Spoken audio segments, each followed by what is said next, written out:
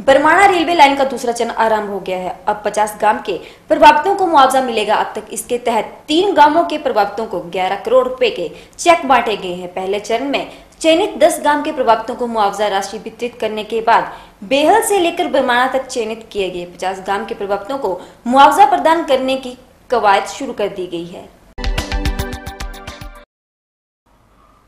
भनुपली Beri बरमाला railway line का दूसरा चरण आरंभ हो गया है। अब 50 गाँव के प्रभावितों को मुआवजा मिलेगा। अब तक इसके तहत तीन गाँव के प्रभावितों को 11 करोड़ रुपए के चेक बांट दिए गए हैं। पहले चरण में चयनित 10 गाँव के प्रभावितों को मुआवजा राशि वितरित करने के बाद अब बहल से लेकर बरमाला तक चयनित किए गए 50 गाँव के प्रभावितों को मुआवजा प्रदान करने की कवायद शुरू कर दी गई है। भानुपल्ली, बारी, बरमाला रेलवे लाइन के दूसरे चरण के सर्वे के तहत प्रभावितों को मुआवजा राशि के चेक बांटने की प्रक्रिया शुरू कर दी है। भू अर्जन अधिकारी रेलवे एवं तहसीलदार बिलासपुर जय गोपाल शर्मा ने खेरिया, लखाला और बहल के प्रभावितों को 11 करोड़ के मुआवजे राशि के चेक बांटे। दूसरे चरण के सर्वे में बहल से लेकर बैरी बरमाला तक करीब 50 गाँव के प्रभावितों को मुआवजा दिया जाना है, जिसमें तीन गाँव के प्रभावितों को मुआवजा राशि दी जा चुकी है।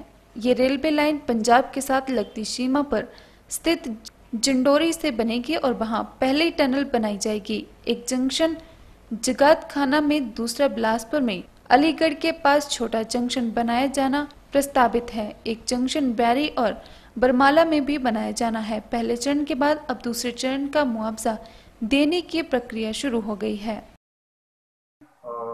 जो हमारा है भानुपल्ली रेलवे, भानुपल्ली से लेकर के बिलासपुर से बरमाना तक जो हमारा रेलवे ट्रैक जा रहा है, जहाँ तक सर्वे हो चुका है, वहाँ तक जो प्रथम चरण का जो दस गाँव थे, उनका हमने कॉम्पनसेशन भी दे दिया था और एक्विजिशन भी हो गई थी उसकी हमारी।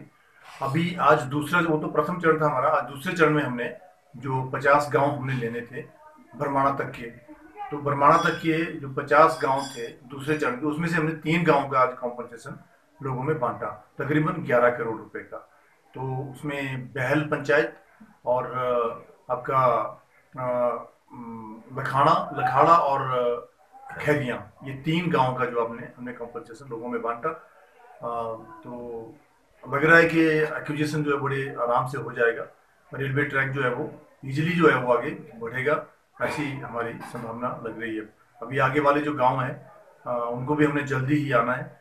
वीकली हम यहाँ राउंड लगाते रहेंगे और जितना जल्दी हो सकता है, ये जो सर्वे का काम है इसका रिकॉर्ड जो बना रहे हैं हम इसका काम है और एक्विजिशन का काम ही हम जल्दी इसको पूरा करेंगे और रेलवे ट्रैक जल्दी से जल्दी आगे तक पहुंचाएँगे इसको।